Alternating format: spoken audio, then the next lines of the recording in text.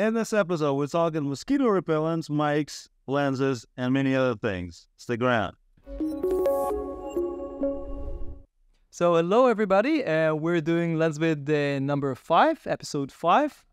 Hi, Art. How you do? Uh, and uh, today we have, as always, a bunch of products and some topics that we want to discuss with each other and with you, of course. And the first one is something that we only recently got for a review and we're actually using right now. Yeah. That's the Lark! Max. yeah, exactly the Hollyland Lar- uh, Lark Max. Is uh, it is basically a wireless uh, microphone system. Yeah. Uh, and what's special about it, you know, it, it has all the the latest features that a lot of the mics have. So it has this uh, nice ca- charging case uh, for both the mics and the transmitter or Right. receiver, actually receiver. And uh, it has, beside that, um, the, the units themselves. You can see us wearing them right now with a magnet. Uh, we actually used them on the previous video as well. And mine was falling all the time, but now I'm using the magnet, so th- it works better. Uh, it ha- actually has a place for the magnet inside the box, but uh, it's yeah for some reason it the, the magnet tends to uh, uh, clamp into the the top part. I don't know. I need to ask uh, Hollyland about this. Uh, but the major feature with this, the Yeah. new feature, yeah, it has the same uh, technology for reducing noise, just like the uh, Hollyland. Uh, Solidcom. yeah, Solidcom uh, microphones that we tested and reviewed uh, a few weeks uh, back. Some interesting demos there. Check it out. Check out the video. Yeah, checked out check out the review. It's they're pretty cool. We used them uh, on on a production on a Canon uh, commercial shoot that we did, and they worked really great, even like in long distances. Uh, in this case, non not uh, non uh, pun intended. In this case, the the um, the noise reduction actually serves a slightly different purpose because it's not just for talking; it's for recording. And what I'm thinking is that you can do like noise cancellation after the fact, obviously with lots and lots of software. The Adobe Podcast does a, a great job, and some other software. More more of them coming out. Yeah, but if you're doing live stream, then I'm not sure if there is a noise reduction for a live stream, especially if you're doing like something where you're doing live stream where you're not physically in a studio. Because in a studio, maybe you have some solutions, Right. but on the go, I, I don't know if any like noise reduction solutions for microphones. I haven't seen yet. yeah. So I mean, it would have to be some kind of a cloud-based service where you, if you you need to do it in real no, time exactly. It's a lot easier to just do it uh, in, in, in the mic. in the mic. right? Yeah. So that's what the that's what Hollyland decided to do. Yeah. It actually has a separate microphone that it listens for the noise and then it it recalculates and and reduces it and reduces it works well out of the, and it's great. It works well with and the without distorting too much. We'll have to see with this one how it, how well it works. But yeah, So if you're broadcasting from like a show where there's all kinds of noise around and or you're doing interviews like on the street, this is great. we are actually going to take this to uh, IBC. We're going to the IBC trade show in uh, the Netherlands in about in a month. uh, yeah less than a month now, and uh, we're going to try this for all the like short content that we want to do, uh, either actually live streaming or very short turnaround time where we don't have a lot of time to actually edit the video and, and do anything with it. So we'll see how it works, and obviously we'll have a review. But uh, this is this is the use case that I see for it, uh, you know, over any other like uh, wireless system of this sort. So that's the Lark uh, Max. There is also a new product, or I think fairly new, I'm not sure, uh, from Nitecore. Uh, on the last uh, LensVid Talk, uh, we covered the review that we did on the a demo. Check it out. yeah of uh, of their uh, fan, like super uh, blower or fan or blower, uh, which is like really really powerful. This is something completely different. This is like two types of yeah. Maybe you pick up the the second one. So these are like two types uh, of um, they call them portable electronic and multi-purpose repeller. And now what this is, and you might think that this has nothing to do with photography or videography, uh, this is designed to repel mosquitoes. Now, uh, I know about you, but uh, if I'm, you know, going outdoors, I want to shoot wildlife or birds or anything. Uh, this season, especially, we have a ton of mosquitoes. It's all over the place. Yeah. And uh, if you have something portable, small, I'm not sure how well it works. We'll have to test it. Let's check it out. Yeah, it comes with these sort of like small pads, uh, and they last for like um, six hours each. Uh, so there are 30. Is this like an odor that emits or I'm guessing. yeah. frequency or what is it? No, I, I'm guessing if it was like a, a noise frequency, then it would need this. All right. Uh, so it's probably some but sort you of. have two types. Is uh, No, no, the no. pads for both of them? I'm guessing the pads work for both. I know I'll I'll have to test them out and let you know. See what the but difference is between the two. Yeah, no, I'm thinking that one of them is stronger. One of them is like uh, for longer range. I think it's like a few meters around you, so it can be like if you're going camping or anything like that, you can put it like next to you and next to the people ne- uh, like that are closer, and it will work. I think this is the uh, this is the five watt uh, version, and the other one is a ten watt, so it should have like a longer uh, range. It heats them up and creates this. Uh, again scent or whatever that the mosquitoes don't like. We'll have to see how how well this works, but uh, it's it's it's interesting. At least There's, uh, there's other insects flying around. Maybe Yeah. it works on all of them. I'm I'm I'm guessing it's specifically for mosquitoes, but we'll see. It's great. Again, I said this uh, about Nitecore in the previous video. I think it's great that they're thinking about other in the field type uh, things like. This is not necessarily for photography. This is like for general camping and stuff. But But you know, you only you tend to think about the big things, and the camera, the transmission, whatever, video, audio. But if you're standing there and you got flies in your face because, and you're doing something, or you're shooting birds and you got mosquitoes, yeah, That- this is great. yeah, yeah, for sure. We'll test it and, and let you know uh, in a future video or in a review shorts or something. You know how how how well does this work? Uh, so I want to talk about something which is pretty dear to my heart, or at least close to my heart, and I'll explain in a second why.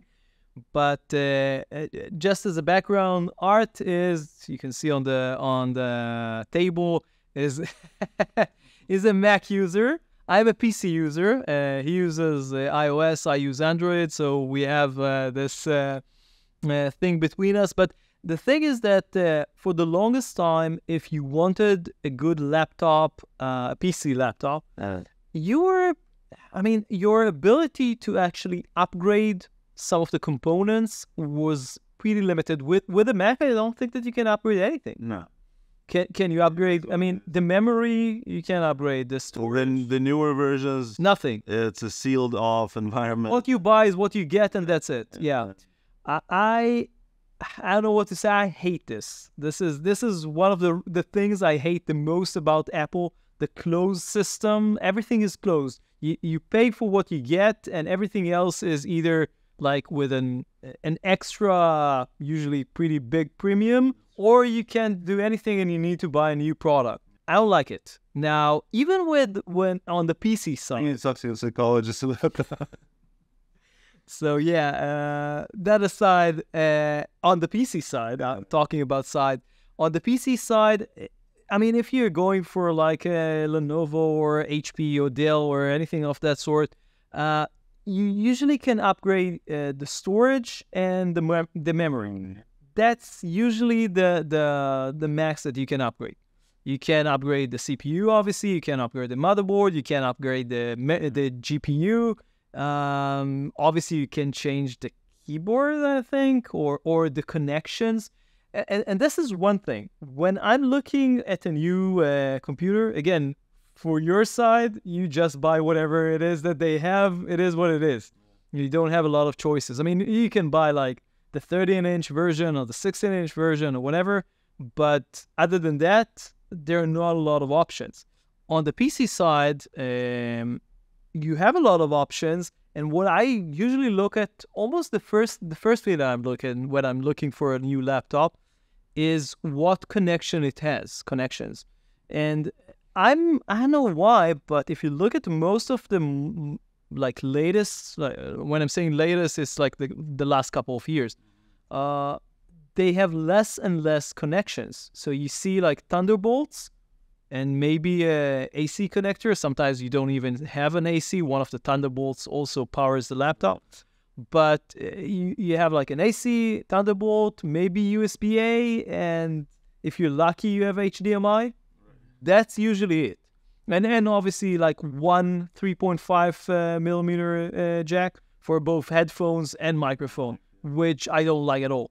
I don't know why they moved into like this single thing sort of thing, but whatever. So this is what you have. So you can't upgrade the internals aside from the memory and, and storage, and the connections are dwindling. I don't know how to say it. You know, like you have less and less connections. And now it's not now, but for the last couple of years, there is also a different solution. A, a company called Framework uh, has been developing a, a, different sort of laptop, which uh, is basically they call it a repairable laptop, but I don't see the repairability as the biggest like uh, aspect of it. I see the upgradability as the biggest aspect. Basically, it's an it's not exactly open source, but it's open. It's much more open than any other laptop that I'm familiar with. So the idea is, and now the, the reason why I'm talking about this now, because they had like a 13 inch version for like years now, like three or four years. Um, they now came up with a 16 inch version, which is much more interesting, and I'll explain why. What this uh, 16 inch version has is basically you can, first of all, you can change and repair everything yourself. So you can change very easily. There are instructions and everything, and with like a single screwdriver, you can change the monitor. So you can switch the monitor on your laptop. Obviously, you know you, you need to have a, a one that fits that laptop, but uh, they should probably come up with like for the 16 inch version for like at the moment uh, it's it's like a, a pretty good monitor or, or panel, but it's not a touchscreen, for example. So maybe in the future they will have a touchscreen. So they come up with a yeah, they will come up, but or you can have a third party that you yeah, sell. exactly. So they, I think most of their hardware, maybe even all of their hardware, is like open to third-party manufacturers to come up with their own solutions, and there are also already like a couple of like optional things for their laptops uh, from third parties. But the more successful they are, probably the more third-party manufacturers will will So develop makes things sense when there's a market. For yeah, for sure. So basically, what you can do is is get the 16 inch version. It has like six uh, Thunderbolt, or I think it's USB 4, so it's sort of like Thunderbolt uh, connectors built in, and you can buy these adapters, small adapters, uh, and they cost like a few bucks. They're very inexpensive, and it's like either USB C, USB A. HDMI, DisplayPort. You, you can have like a DisplayPort. You can have like three HDMI's out of a single laptop. It's it's amazing. Uh, so you don't need like uh, I hate all those um, external how do you call them hubs or docks or whatever.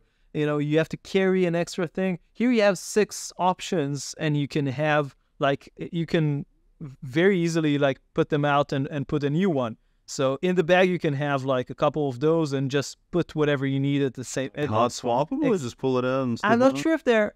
I would guess they're hot. Yeah, they are probably hot swappable That's interesting. because it's it's basically USB. So why not Yeah. hot swap them? Yeah. So that that's cool. And of course Thunderbolt uh, or USB 4 and uh, audio. I'm not sure. I think it has audio built in as as it is, but uh, probably a few other things. Now the biggest thing that they have on the 16 inch version that they didn't have on the 13 inch is uh, an option to replace. Uh, basically, the, the 13 inch version had a built-in uh, graphics card on on the on the next to the CPU, basically, and this one also has this. Uh, the, the the first iteration, as far as I know, comes only with AMD, but the 13 inch version also had uh, an Intel an Intel version. Uh, and and you can swap because the I think the original one was uh, Intel Gen 10 and then it was like Gen 11, 12 and now 13. So people who bought the original version could swap to it's it, you swap the entire motherboard and the CPU Yeah. and it's supposed to be pretty easy. Like uh, I don't know half an hour. I don't know how much time it will take you, uh, but you can completely swap the the CPU. uh, and and have like a brand new computer basically. Now with this 16 inch version, you now can also add a GPU, and the way you add it is in the back. So it module that sticks on. yeah, exactly. So it sticks from the back a little bit, but uh, I'm not, I'm not sure. I think the first one is going to be an AMD. They they work very closely with AMD, so it's going to be a, an AMD uh, external GPU. Basically, I'm not sure the version. Maybe I'll write it on the screen, but uh, that that's going to be really interesting because it means that this can be actually a, a dedicated editing machine. So that's cool uh, and and one which you can upgrade every like two three years or whatever uh, without like buying a whole new computer. One interesting feature that they have is th- they have like the, this whole ecosystem. So if you upgrade the, the motherboard and the CPU and whatnot, what you can do is use the old parts because uh, the old parts are still working uh, supposedly so you have like let's say a, a 10 generation Intel CPU and you swap it for a 13 gen and then you take the 10 gen and you put it in a case with like a, a PSU and all the stuff that you need, memory and, and, and all the rest. And with this, you have like another desktop like computer. It's it's portable because it's like super tiny, but you know, so you have another computer and you don't just throwing things away. yeah, this is exactly their, their concept. So the concept is repairability, uh, upgradability, and green, I don't know how you want to call it, like uh, uh, green vision. I've been able to talk to their CEO actually, and I asked him a few questions. Um, basically, I tried to understand what's you know what's up, what's coming. He, he couldn't say much, but he was very open and I'm really hoping that like a little bit further uh, down down the road, the, the computer is not completely out yet. They they sort of announce it, but This year? yeah, I'm thinking that they're still a fairly small company, so I'm thinking they produce them in batches. So maybe some people will receive theirs like very early. I think that they they ran out of like uh, the they didn't run out of, but they they had like batches, and when they announce it like a pre-order, they you know they clean like the first, second, third, fourth batches in in, in like less than a day. So it was like nuts Ah, there's plenty of people I would love. a lot of DIY tweakers and, and people. And again, I'm I'm I don't see myself as a as a big like DIY computer person, but this is something that I I'm really interested in, and uh, hopefully we'll have a chance to test it when the GPU is ready. Because I'm not sure if the GPU will be ready when the computer is. I don't know. We'll have to see. But if we get a chance, we'll also do an interview with the CEO and ask him like a bunch more questions again later on this year. Uh, so that's do they send it out as a puzzle and you kind of put it together? yeah, yeah. That, you said it as, as as a funny thing, but no, it's actually you, I you have two options. I would not like that option. No, no, no. You have two options. You can either buy the computer pre-assembled and it costs a little bit more, or you can buy it as Okay, components if it's and, less and assemble. money, then yeah, it makes Yeah, sense. yeah, you can assemble it yourself. If you're okay with with uh, with assembling, that can be pretty cool. No, we'll we'll have to see what which version we'll get, but yeah, that that can be interesting. Uh, so that's uh, that is framework. Uh, we have a video from one of my favorite uh, YouTubers actually, uh, or creators. I don't know what, I don't know what to call him. Daniel Schiffer. Uh, so Daniel Schiffer is uh, uh, he works primarily at uh, like shooting uh, product videos, m- very similar to some of the stuff that we do. It's just amazing, but uh, uh, his level of like editing is is is really really good. Uh, so he did like um, he experimented with this um, software service I think called Yeah, the it's called Runway by the way. runway, yeah. Um, so changes. It's like there's a bunch of them now, right? Yeah. You do a prompt and it creates video for you, right? Or you can do you can put in an image. So you take what his um his take on on this service was you create a, a very nice uh, product image, right? It's stylized. Yeah, he showed like shoot. he, showed like a different uh, person. yeah, somebody else who put, put up their uh, Like a, a- an amazing like uh, shoe, I think, or something. yeah, a- was like cologne or something. Yeah. right. And then you put that image into the into the AI and the neuro whatever uh Yeah. the filters and they create so it's uh, I think you can prompt it or you can just it just generates Yeah. automatically and it's supposed to create like this uh, a video out of that image right so you you create a pretty a really nice image and then that the, the service will create a video out of that sounds great Uh, the, the the results that he showed of that other person were was really impressive. He tried it. I know what you what what's your thoughts? I it was really trippy. It, Yeah. it's it, it looked very. For, I would call it like beta first generation. I don't know how you want to call it. It's, a great proof of concept. Yeah, but it's not. You it's can't- there yet. It's not like click done. No. Right. I, I I don't know if. I guess what you would do is. Uh, you create the image, or you go into that service with a specific uh, idea already. Yeah, If there's a way to, to prompt it, if there's a way to to highlight or to select the area where you want that yeah. the the the, the that Movement. Yeah. to be yeah but as is it's really no, trippy. no, it it's, looks it's like strange. Yeah. it looks like an acid dream dream it's yeah no it's it, it's as i said it's it's a very much a first generation sort of thing but you know the the at the rate that things are going yeah in a one or two years this is going to to take some of the jobs off a lot of like uh, i i would think i'm not sure if it's like for full-fledged commercials but for like uh, tiktok instagram Yeah, uh, I mean, if- social stuff if you can create a really cool uh movement or instead of replicate or, or doing it in camera and you need a robot to do this whole thing Yeah. but you can stick that in and within seconds you have it and it's a it's a half a second clip Yeah. in your big project why not yeah you know No, I, I- don't. I don't think that at the moment it has any option of moving the image that you have. So it, I don't think it can course. replace I'm, a I'm robot. talking two years and you know I think That will be a different thing. But for the background, for sure. Yeah, but I think it's one of the tools that at this point, as professionals, we start incorporating into our workflow. Yeah. It's not like, oh, I'm going to be out of a job in two years. Some people will. Yeah. but if you know how to incorporate these things and, and see see ahead and say, okay, I will be able to, instead of buying a, a $30,000 robot, you can replicate that movement from a, a, a, a, a still.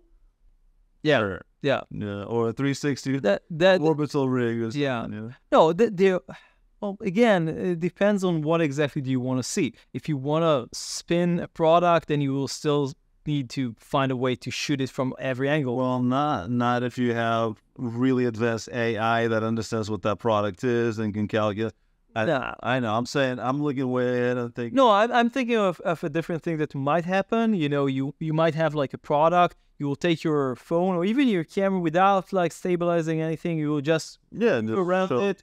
The computer will like the AI will understand what it is, create like an actual super realistic model, and then do a 360, which will be like super smooth and everything.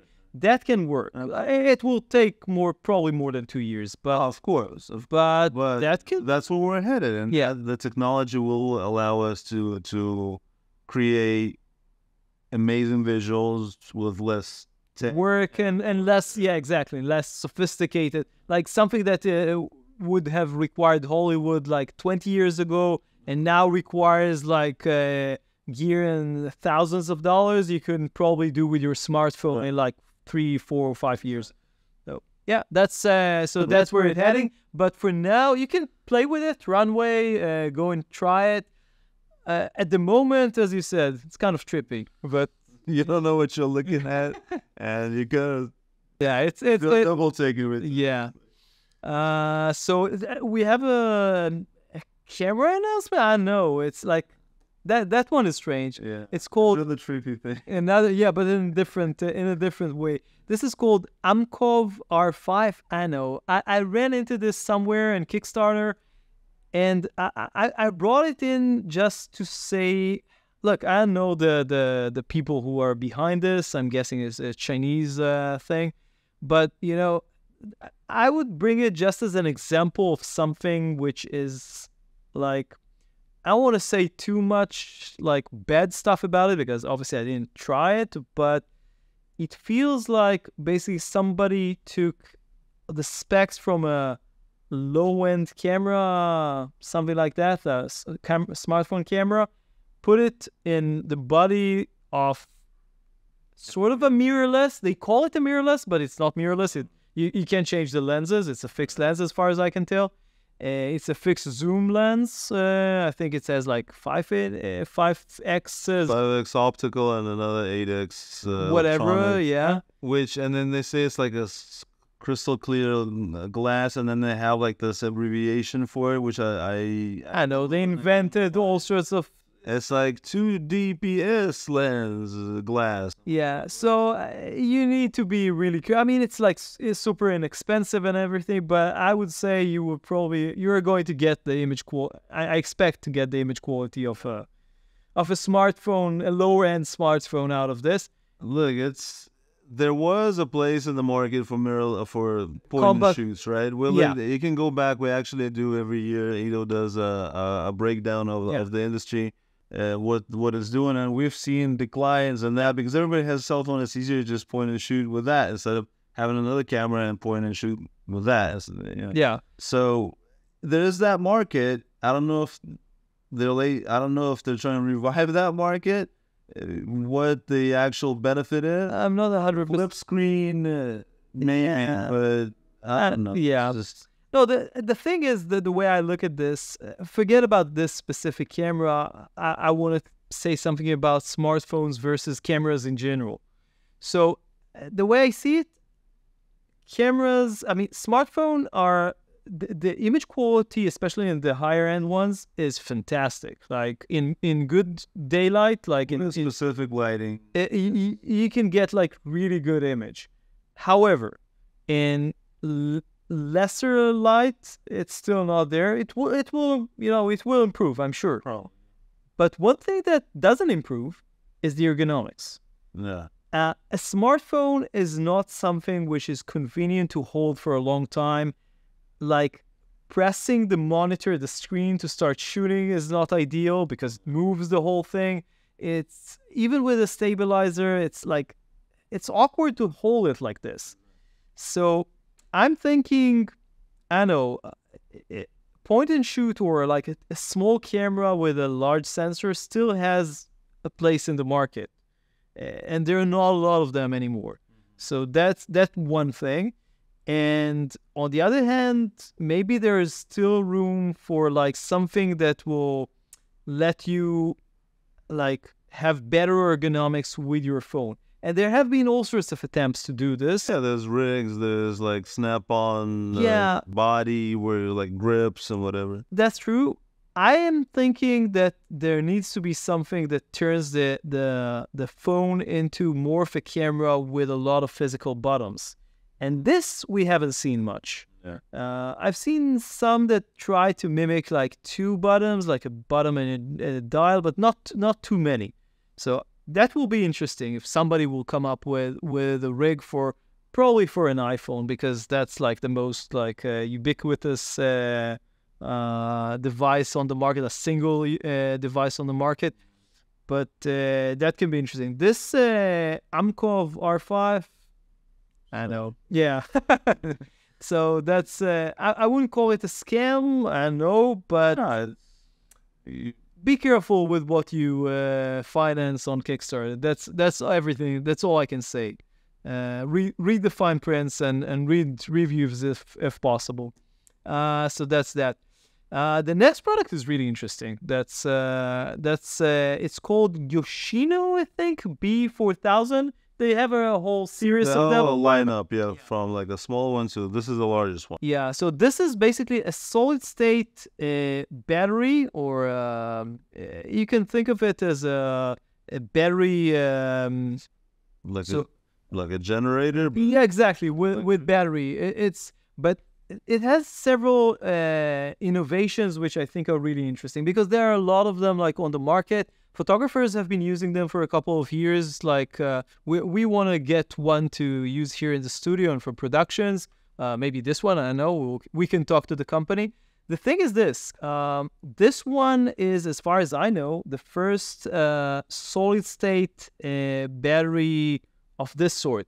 Now, most of the the like the um, the existing ones that are on the market are lithium ion, or lithium polymer, or all sorts of like uh, uh, conventional or more conventional batteries. This is um, a completely different sort of technology. It's it's not based on liquid or anything like that. It's it's solid state. I'm not sure exactly how the technology works, but what it allows the the the, the manufacturer the, um, of this battery is to basically make the whole thing significantly smaller, Smaller and with a, lighter.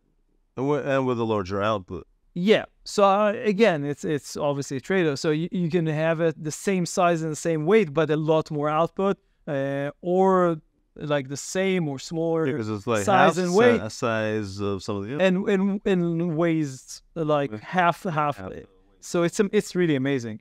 It's it's I, for, lo- I love the design, by the way. yeah. The design is like really compact and minimal, and I think I think it's uh, 50 pounds. I'm not sure in kilograms how much. 20. 20 something yeah it's it's not very heavy. Uh relatively speaking it's four kilowatt so that's that's a lot. You can Wow. you can think about it if with four kilowatts you can have like what four easily four uh, 600 watt lights? More. Way way more yeah, Yeah, more. Than five know, I know yeah no it, it probably depends on the amperage as well I, i'm not sure but all in the video, uh, uh, tony tommy uh, Callaway or uh, he shows the the his studio with all the lights Yeah. on, with all the lights on at like the at maximum power. He's pulling like a 1.2 kilowatts. Yeah. No, I think two point something. He connected all sorts of stuff to that. Right. Oh yeah. I mean, Just the li- regular just setup. yeah, So yeah, if you're in the field and you want two big lights, there's plenty of power. yeah, for that for sure. No, uh, the the, the thing I think the, the the size and weight are really important here because if you're taking it, this is I mean the big ones, gigantic. They will take up like if you have like a Yeah, relatively 100 trunk, yeah. they they can take up like a third of your trunk. This one, this is like really small. You can put it uh, even in the back seat, like under the, the the feet or something, or I don't know. It's like really easy. And um, I mean, it, it is. This one is pretty expensive, but it's to be expected. It's a new technology, and But also, you don't need the four No, thou- four for- kilowatts. Uh, no, for, the for the most, no some of the field work, right? half or even Or- third. Actually, yeah, you're gonna want a few of Yeah. those. Right? But uh, there's a 660. I think that's like the that's like the mid uh, range. I would probably take over a kilowatt for for the stuff that we do. But okay, I mean, uh, I I'm I always talk about this like light, lights with batteries, right? Yeah, If we have something like this, a solid state battery that's small, compact, it's light, and then you can hook up three lights to it. yeah. Uh, not huge ones, but you know, 200 Yeah. or something, uh, 150s. yeah that that that can work so that's uh, that's an interesting uh, product if we have a chance uh, we'll definitely review it uh, for you uh, there is something a bit different uh, there is in development a new Tamron 72 180 second generation.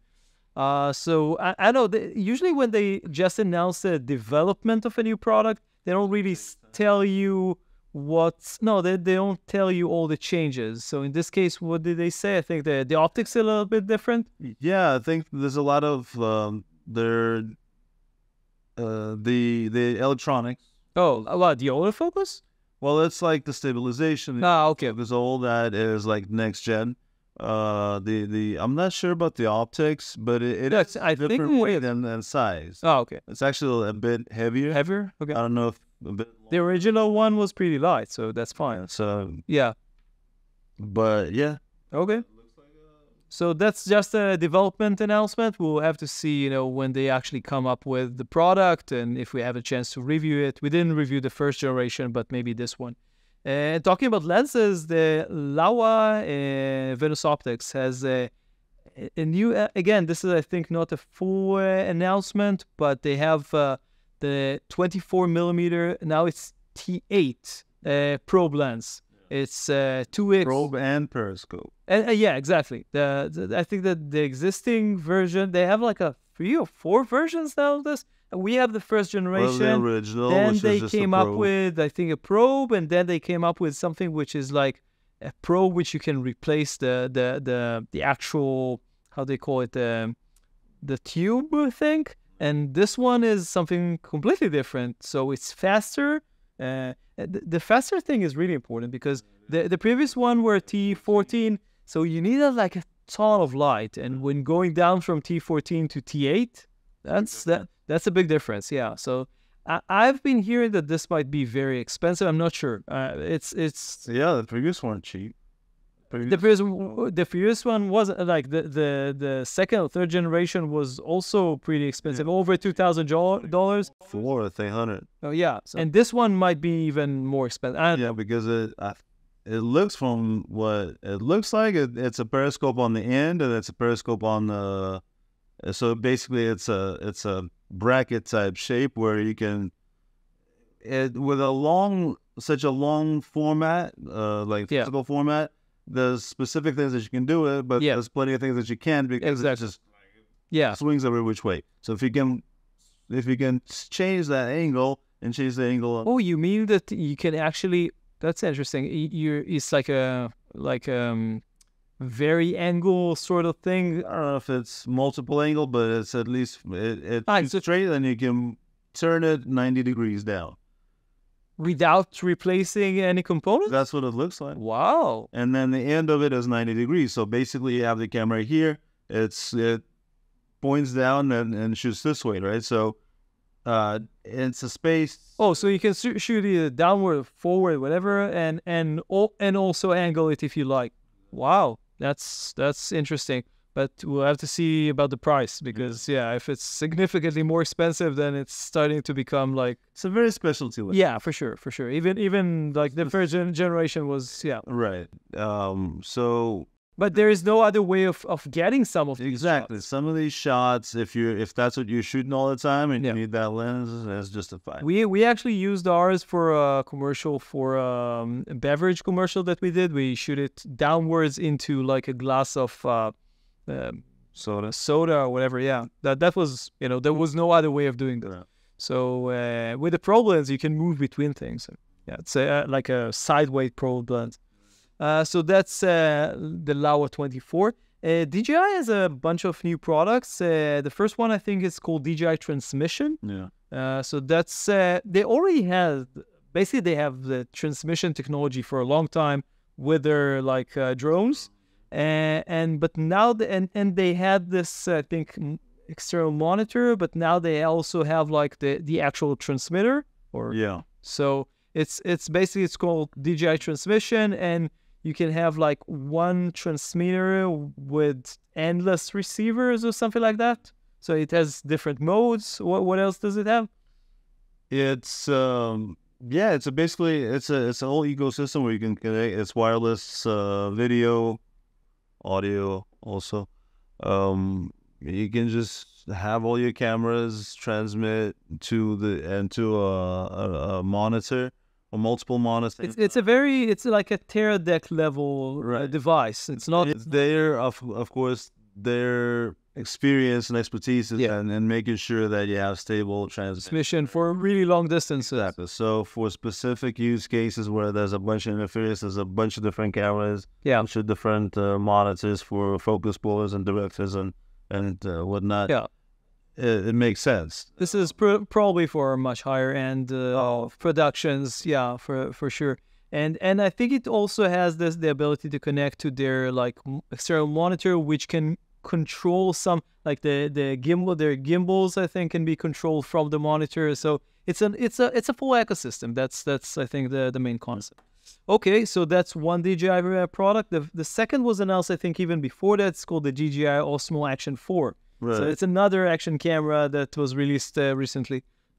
Uh, it's an action It's, camera. yeah, I know. I, I I think that there are a lot of like changes between this and the previous one. I think it's a bigger sensor. There's a better. There's always like the the next gen of Of a lot of uh, the software, all the yeah. electronics. Uh, so better light, better light, better bigger sensor, better light reception. Yeah. uh, Because it's always like they work great until you go into the lower uh, light situations. Yeah, for sure. And the image is not good. Yeah. So that's what they're working on. It's the same type of body. The only difference is it says four instead of three. Yeah. So uh, no, I mean, if you're in the market and want to buy the three and now there are four out, you'll probably buy it if the price is more or less the same. Um, so another product from Laowa, maybe we should have but um, like packed them together, but it's uh, that was also announced recently is the Nanomorph uh, 65 millimeter and 80 millimeter T uh, 2.4, uh, and they also have like a 133 uh, X uh, front anamorphic adapter. Right. These are anamorphic lenses that, or the, I think it's a 1.6 uh, or 1.5 as is, and then you can put a, a 1.3. Uh, Three extra You get a 1.8 squeeze, yeah, squeeze, right? Which yeah, and they they're T 2.4. I know much more about them other than you know that. I, I'm not. I'm not sure if they're going to be in IBC. If they will be in IBC, we'll Yeah. definitely go and talk to them and show you, you know, uh, all these uh, new products because they're definitely interesting. But uh, we don't really have a chance to play with them too much. Uh, and a final uh, product for today is something again where we were in this uh, sort of like higher end uh, production, uh, uh, like uh, big, big cameras. big cameras this uh, this talk. So Zacuto has something I don't know where I found it. It's called the rotator uh, for large cameras. I'm not sure if this is the actual name, but uh, it's basically it- it's a product we covered um, the same sort of Rotator. a rotator for lenses recently.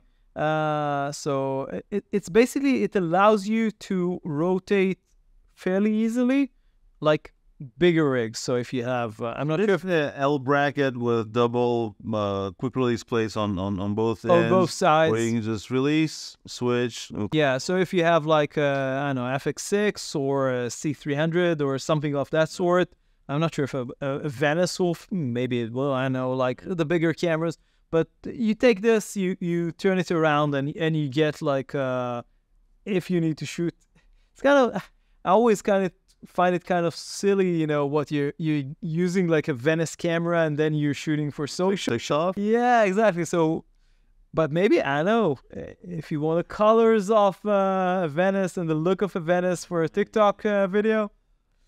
Maybe they'll start shooting full feature films and vertical. I don't know. No, but uh, think about it. I, I'm thinking like maybe big brands which are shooting like an actual commercial, Yeah, like a Nike. and then exactly, let's say Nike want to shoot a commercial, but they want like the same look for the actual commercial and the TikTok or Instagram or whatever like uh, vertical video.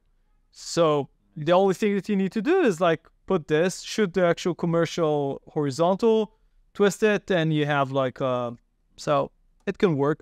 Uh, I still think that working in post and just cropping will, if you have open gate and wha- whatever, it depends on the camera.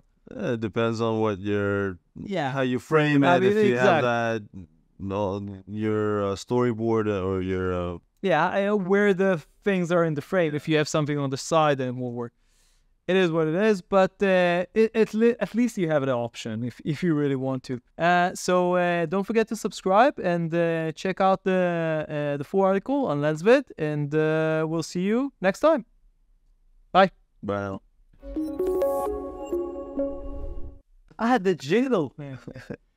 so you want to do the jingle? Uh, the jingle. Lens vid, lens vid, lens vid for the nations.